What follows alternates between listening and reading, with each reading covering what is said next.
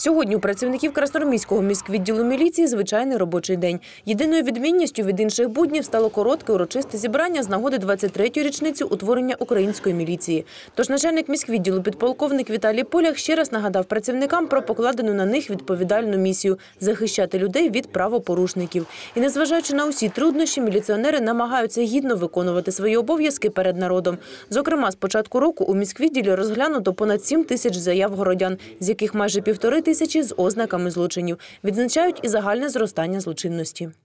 Но рост произошел э, по отдельным видам преступлений. Это такие, как разбойные нападения, э, угоны.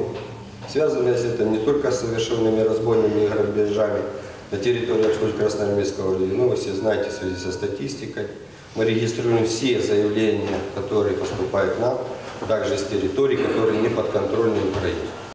Відзначив керівник на зібранні і результати з розкриття вбивств та грабежів, а також спільну роботу з військовими щодо вилучення зброї і боєприпасів. Особливу подяку Віталій Полях висловив керівництву Краснорміської райдержадміністрації за тісну співпрацю, а також за надану техніку та паливно-мастильні матеріали. Спільною роботою задоволені і в районі. Щоправда, мають тут і деякі побажання.